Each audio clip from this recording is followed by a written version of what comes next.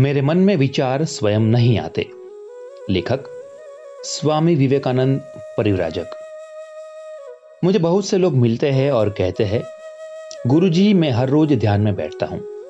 एक घंटा सुबह और एक घंटा शाम को।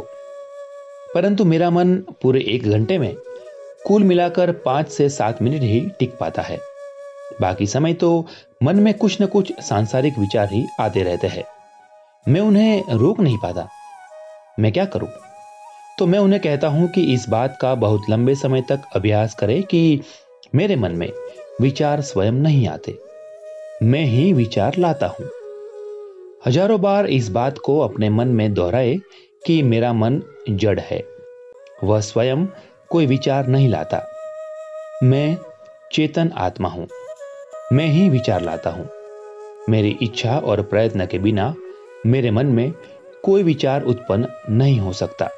इस प्रकार से लंबे समय अर्थात वर्षों तक चिंतन मनन करने से, इस बात को दोहराने से मन में यह बात बैठ जाएगी कि मैं ही विचार लाता हूँ। अब मैं सांसारिक विचार अपने मन में नहीं उठाऊँगा। अब मैं केवल ईश्वर का ही विचार अपने मन में लाऊँगा। इतना लंबा अभ्यास करके फिर आपको विचारों को रोकने में सफलता मिलेगी।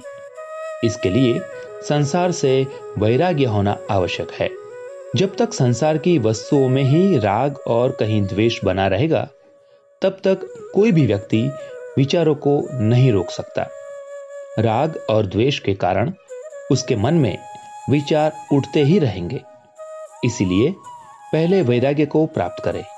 अर्थात संसार की वस्तुओं में जो आपको राग और द्वेष है पहले उस राग और द्वेष को धीरे धीरे कम करते जाए।